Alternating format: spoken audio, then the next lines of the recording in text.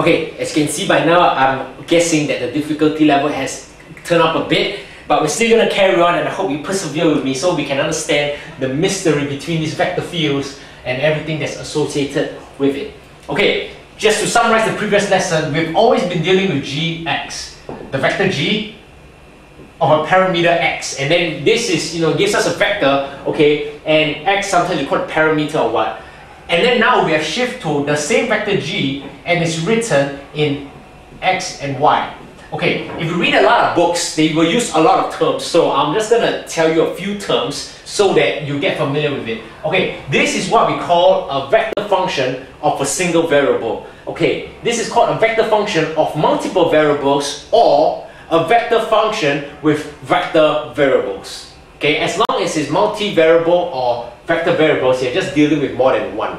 Okay, and then later we move on to one which is something like that. We combine these two concepts, we just name it f, and we'll just put x, y, and z, and it's going to give us function 1 in x, y, and z, the i component, plus function 2, x in x, y, and z of the j component, and function 3 of x, y, and z for the k component. And we realize that we can't sketch this curve Instead, it's a three-dimensional hyperspace in the R4, sorry, a three-dimensional hypersurface in the R4 space. Okay, I hope that I mentioned hypersurface in the previous video, but never mind. So this is what we have, and we can't sketch this. Okay, so now having said that, we need to now give some sort of interpretation of what this really means. Okay, vector field, okay, and it's like, like I said, you give me the point, I give you a vector.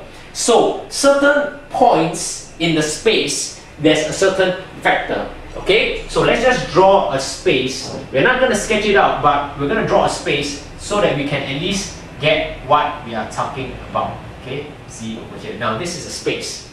So for each point, this generates a vector. Okay, this vector would be a tangent to a curve. Okay, because every point is a vector, and obviously there's a curve that goes through all those points. And the curve is called streamlines, flows, flow lines, or lines of force, depending on the context. Okay, so what that means, streamlines. Streamlines is used in the context of, let's just say, water. So water is flowing from here, okay, to here, okay, and it goes like that, okay. Now, I, I'm not too good with my physics, though I got an A, but I'm not a physics Olympiad winner, but we are able to isolate this water into small little particles, okay? And it follows the particles or certain particle from here to here will follow what we call a streamline like this. A streamline like that. And that streamline can be identified in the XY plane, in the XYZ plane. Am I not wrong? X, Y, and Z plane. So you give me the point the xyz point, you put the value inside here, and then I'll give you the vector. In this context, this vector is called the velocity vector, which is the velocity or the direction and the speed in which that particle is traveling at that point of time. Okay? And this, let's just point it as this. So it only would make sense that this vector would be a tangent to the curve or to the streamline curve. Okay. Now I know that we are moving really into the realm of theoretical physics or theoretical mathematics. I really don't know which one is it. Maybe a bit of both. Because right now, at a high school level, it's a bit difficult to really envision, or as a freshman level, to envision what this thing really means. Okay? But let's just take it as that. We break down a flow of water into small little points, and that point is inside the space. And for each point has an x, y, and z coordinate. And then we can find an associated vector from the vector field, okay? The vector field, which will give us the velocity vector. And that is the vector in which the point is going to travel instantaneously at that point. Which from here, it is a tangent to the curve. And this is called streamlines, okay? Streamlines because it's water. Now, a more general term, we would always like to use the term lines of force. Other situations where this might happen may be in a magnetic field or even a gravitational field, okay, where we're dealing with three-dimensional space. But obviously, we need a high level of interpretation for that. But let's just say lines of force. So we are back to answer this question.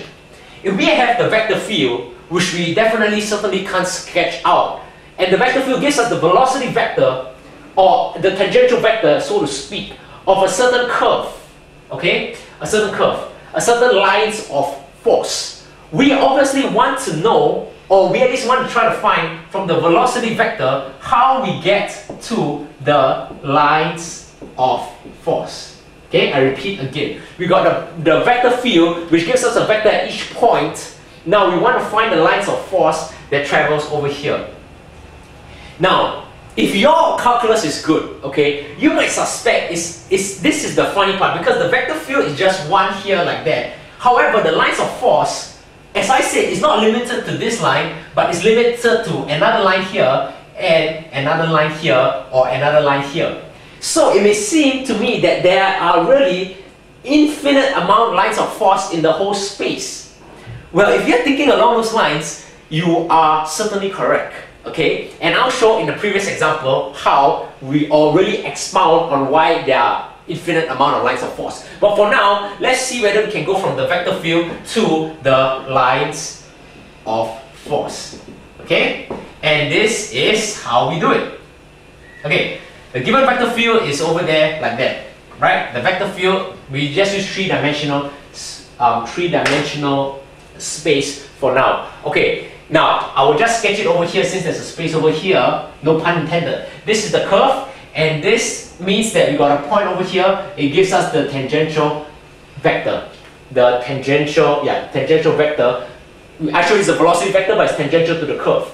Okay, so for now, let's just assume we know the equation of the curve here like that. And we define it parametrically, okay? Parametrically, which is x, a function of x, let's just put t. Not, not to be confused with time, this is just a parametric equation. y equals to yt and z equals to zt. Now why we need to use parametric equations? Well that's the only way it can be done. But later you can see that it's independent to the parameter.